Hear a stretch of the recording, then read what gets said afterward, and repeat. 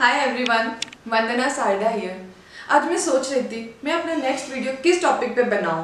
तो सडनली मुझे स्ट्राइक हुआ, क्यों ना इस करंट डिजास्टर सिचुएशन जिसने पूरी दुनिया को हिला के रखा है, इस पे कुछ बनाया जाए? Yes you got it right Covid nineteen but मुझे यहाँ बैठ के कोई लेक्चर नहीं देना कि कोविड नाइन्टीन क्या है, ये कैसे होता है, इसके सिम्टम्स क्या है ब्ला ब्ला ब्ला ये तो आप सब ऑलरेडी जानते ही हो. तो मैंने सोचा करूँ। जो मैं खुद यूज़ करती हूँ, मेरे फैमिली मेंबर्स यूज़ करते हैं इस सिचुएशन से बचने के लिए, अपना इम्यून सिस्टम स्ट्रॉन्ग करने के लिए। पहले लॉकडाउन था, हम सब अपने घर पे थे सेफ़ थे। बट अब धीरे धीरे सब कुछ ओपन हो रहा है। हम बाहर जा रहे हैं, लोगों से मिल रहे हैं। तो अभी बहुत ज़्यादा ज़रूरी हो गया है हम अपने आप को सेफ़ रखें, अपना इम्यून सिस्टम बहुत स्ट्रॉन्ग रखें। रेदर आजकल ये सब आजकल ये चीज़ बहुत लोग यूज़ भी कर रहे हैं स्पेशली स्मॉल टाउन में।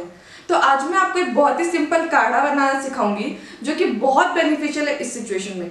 तो without wasting much time let's start so guys सबसे पहले मैं आपको बता देती हूँ ये काढ़ा बनाने के लिए हमें क्या क्या इंग्रेडिएंट्स लगने वाले हैं।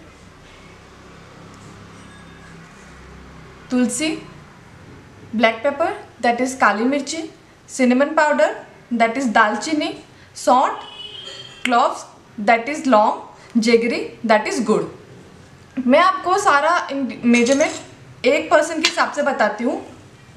हम पाँच तुलसी के पत्ते लेंगे।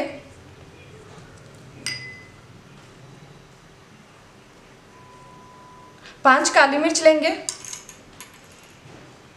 एक लौंग लेंगे। वन फोर्थ सौंठ का पाउडर लेंगे और वन फोर्थ स्पून दालचीनी का पाउडर लेंगे। अब हमें इन सब इंग्रेडिएंट्स को अच्छे से क्रश करना है।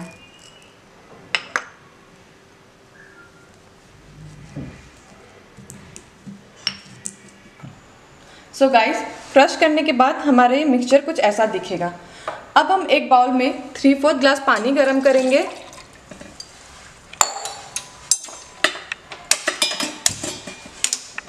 उसमें ये मिक्सचर ऐड करेंगे।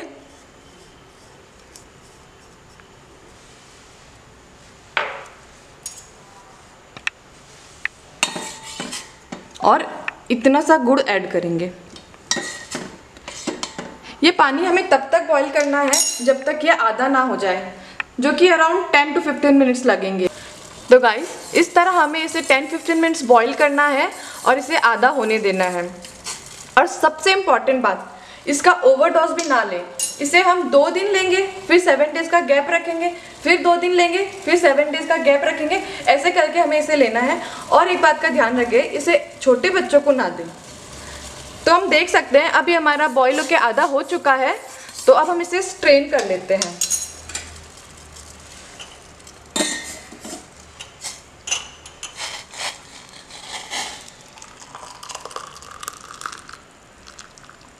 और ये हमारा काढ़ा बन के रेडी है और इसे गरम गरम ही पीना है, रात को सोने से पहले।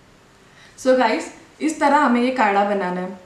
सिंस अभी मानसून सीज़न चल रहा है तो कोल्ड एंड कफ होना तो ऐसे भी बहुत नॉर्मल है। तो ये काढ़ा आपको उससे भी बचाएगा और गाइस ये काढ़ा लेने के साथ साथ please maintain social distancing use mask गर्म पानी के साथ नींबू डाल के ले।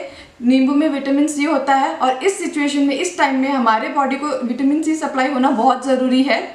और सोने से पहले ये काढ़ा ले स्टे सेफ़ स्टे हेल्दी और ऐसे बहुत सारे यूजफुल वीडियोज़ के लिए please subscribe to my channel thank you